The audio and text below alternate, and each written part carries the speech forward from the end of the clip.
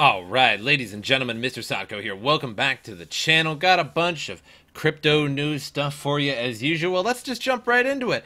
What to expect when you're expecting highlight circumcision controversy? Uh, wait, wait, wait, wait. This this was this was my own research. It's a really good movie. Uh, Hold on, hold on, hold on. Uh, what to expect when Ethereum's Constantinople hard fork happens? So Constantinople hard fork is coming pretty soon. January 16th is its expected arrival date. And it upgrades a number of things. I would say mostly for developers. There's a little tiny worry that not many people have upgraded the nodes just yet. Um, but it seems like most people will upgrade by the time the fork arrives, so if it doesn't, could create different chains. There's already some Ethereum hard fork scams out there. I already covered one of them on my channel a few days ago where they want you to send your private keys and your Ethereum to them so that you can get your hard fork, and I'm sure that's going to happen. Don't do that. Uh, one of the things about it is that uh, it delays the difficulty bomb, an algorithm in Ethereum uh, that increases mining difficulty over time. And because the upgrade will decrease the mining difficulty, it also takes steps to reduce the uh, reward miners are given for securing the network, down from three to two Ethereum per block. So instead of uh, a rising difficulty that is sort of scheduled in Ethereum, it's going to lower that difficulty, but lower the block as well. So if you are a GPU miner, uh, it's going to hurt quite a bit because there's a lot of ASICs and FPGAs on Ethereum right now, and from a block from 3 to 2 is pretty significant. And Ethereum, um, you know, GPU miners are already sort of suffering as it is, and may have already moved on to a lot of other algorithms. And that's pretty clear in the Ethereum hash rate, how it's just going down regardless of the ASICs going on it. So I feel like most of that decrease uh, in the Ethereum uh, in the Ethereum hash rate is likely GPUs and not necessarily people unplugging ASICs. So now uh, it's definitely mostly ASICs for sure.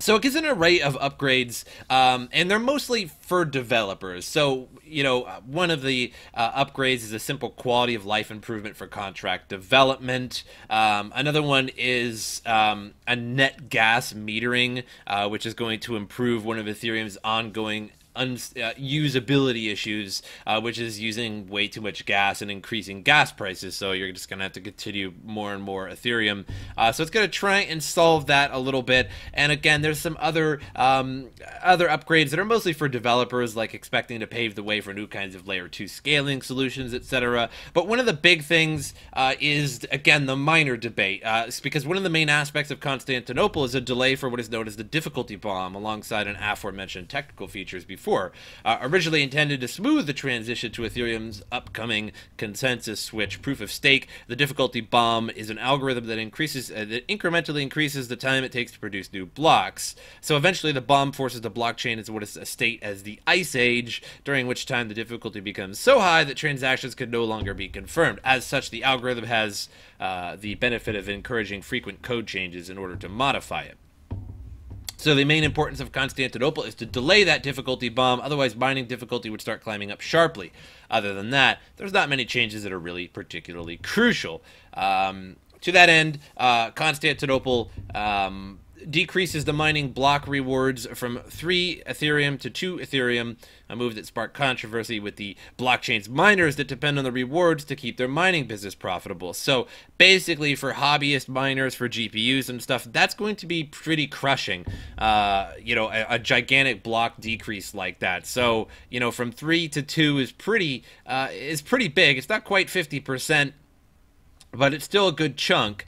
And uh, you know, GPU people, uh, miners, I suppose, are already suffering when it comes to Ethereum and may have already moved on. So if ProgPow comes out here soon, that is going to essentially brick current ASICs and sort of brick FPGAs. However, FPGAs are reprogrammable, and one could probably find some kind of way or software, something like that, that would stay on track with ProgPow and be able to keep up. Uh, so that's going to make it so that GPUs, the hash rate is going to seriously because um, all the ASICs are now going to be essentially bricked once ProgPow comes out, if it does, um, and then your GPU profits will go back. So there should be still some probably some FPGAs or something on the network, uh, but um, they might have a hard time trying to keep up with ProgPow as well. So the GPU mining should come back to somewhat normal, although the 2 Ethereum per block is also going to hurt it just a little bit.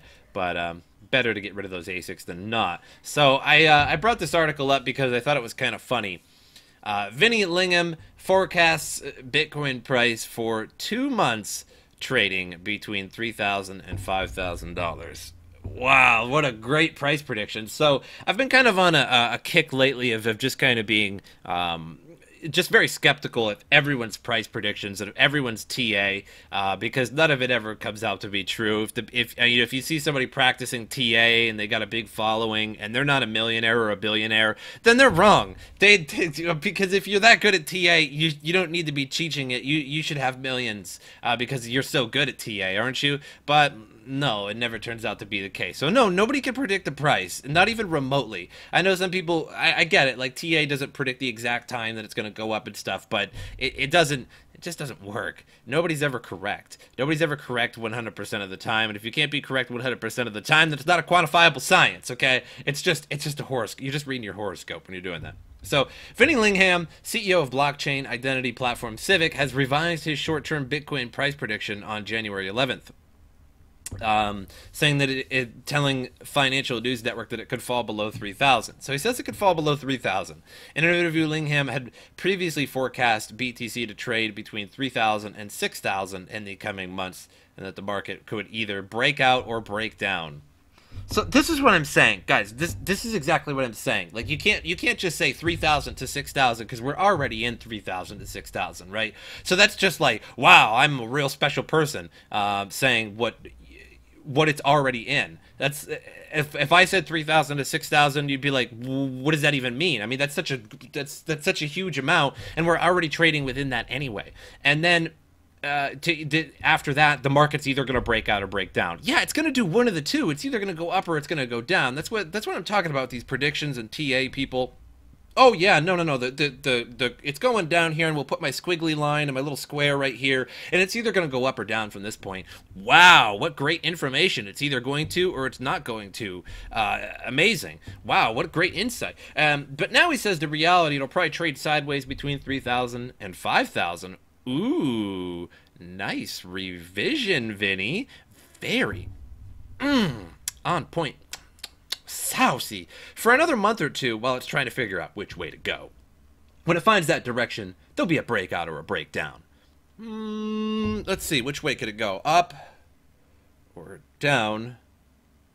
And I'll just, uh, it's, so it's a 50-50. So what I'm going to do to be right is I'm going to throw, boom, both of them on the table. Bitcoin's you ask me what what Bitcoin's going to do? It's either going to go up or it's going to go down. Bam, put them both on the table. I'm right either way. Yeah, yeah, yeah. Very clever. 3,000 to 5,000 another month. Eh, I'll take out that 6,000 cuz I'm not so sure about that. Let's do 3,000 to 5,000 see if I'm right. It just eh, get it out of here, you know?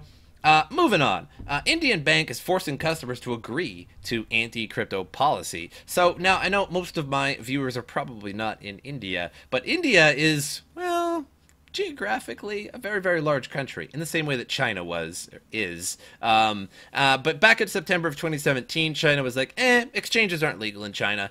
And the, the price of bitcoin bombed from 5000 to 3000 that's a very major huge country with a lot of people that are willing to buy in mine etc uh, trade uh, crypto and so is India, um, quite large as well. Uh, I think it was India the second biggest or the first uh, largest uh, in terms of population. Either way, one of those two, right? Because I could just say that, right? Bitcoin uh, is either going to go up or down, right? So I could just put them both on the table. It's either the first or the second. It doesn't matter. I don't need facts. Um, but it's it's huge, right? And if everybody is allowed to uh, trade cryptocurrency and buy cryptocurrency, then the price of cryptocurrency is going to go up because their population is enormous.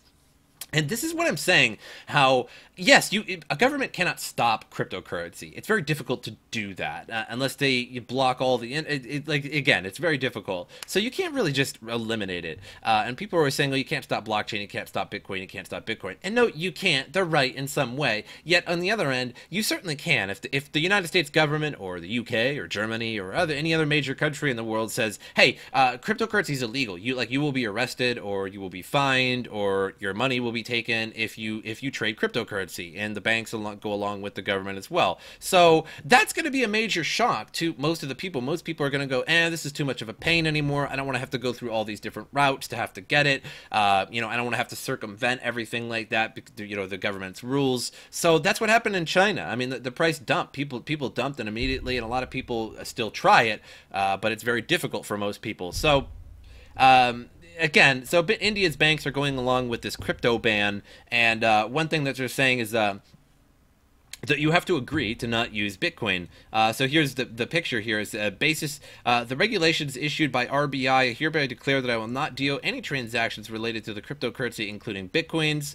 Um, I also understand and agree that the bank reserves all the right to close my account without further information in case I'm found to undertake such transactions. So you basically just close your bank account um, if you trade or buy or are caught dealing with cryptocurrency. So again, that's not a that's not an outright like that cryptocurrency can't be used. Um, and sure, you could be like, well, screw the banks. I'm just going to use cryptocurrency. But it, uh, that's easier said than done for most people. Um, and again, that's all a government has to do to essentially eliminate cryptocurrency. Really, that's all they have to do is just say, hey, it's not legal, or or banks go along with it, etc. And it, will it'll kill the price. Um, so this isn't too good at all. Um, hopefully, India turns around sooner or later because India is a massive, massive, massive country with a lot of people eager uh, for uh, cryptocurrency. Uh, same thing with China. Although people still do. Uh, it's just the exchanges are kind of gone, and that was a huge price boost for crypto for a while there, and then a huge price sundering went from 5,000 to 3,000 uh, within a few days of that announcement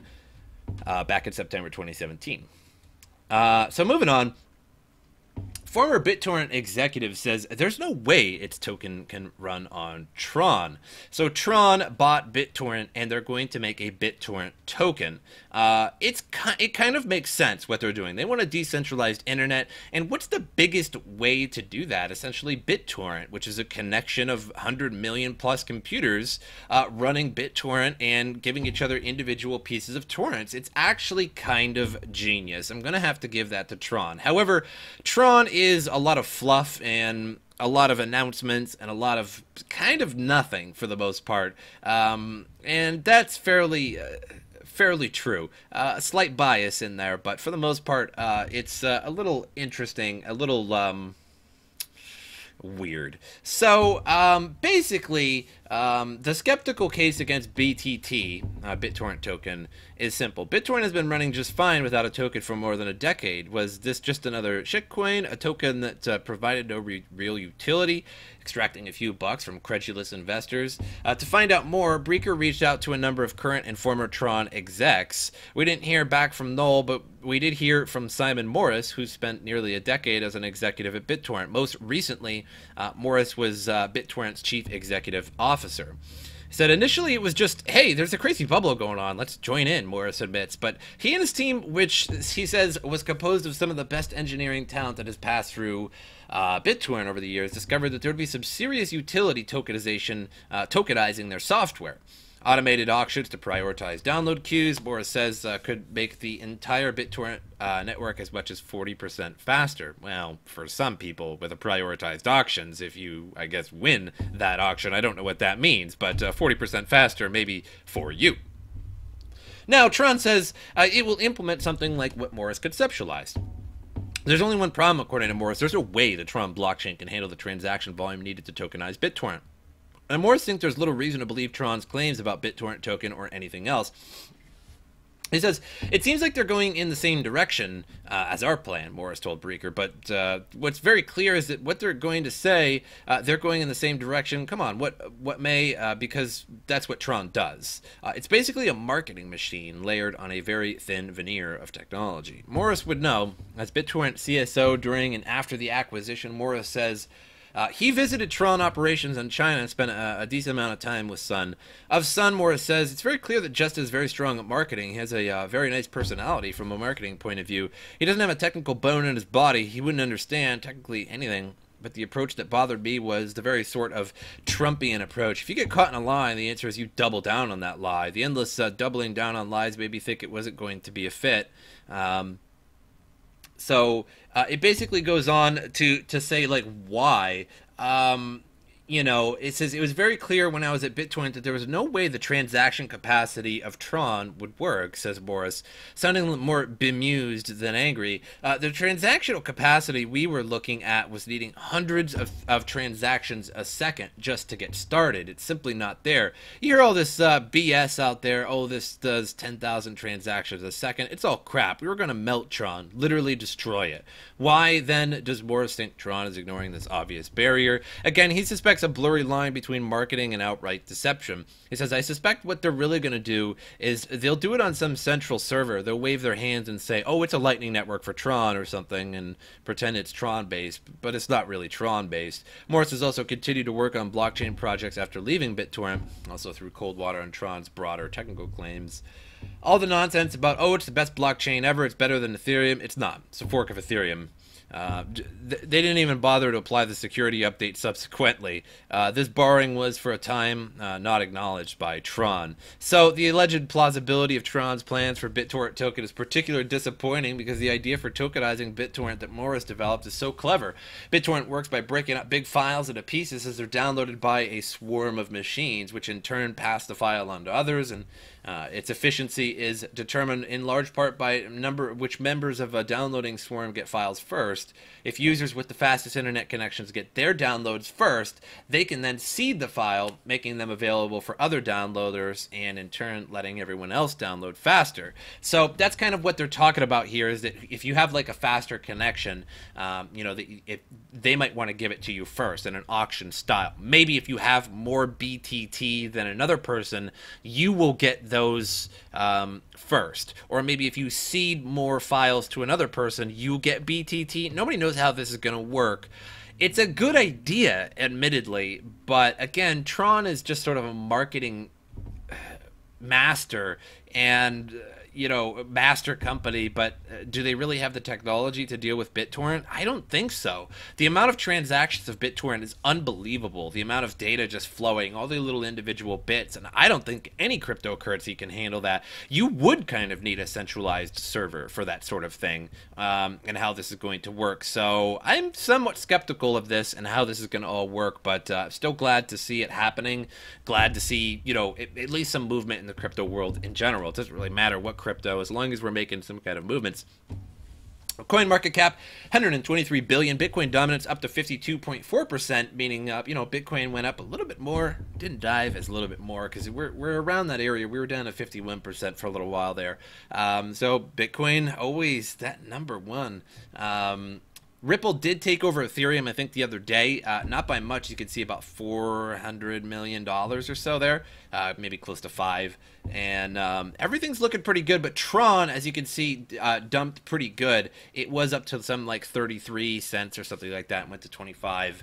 Uh, but uh, nothing crazy to report. Still 123 billion market cap and no big movement just yet. think we're still waiting on Bakkt futures for that and seeing what's going to happen with all that.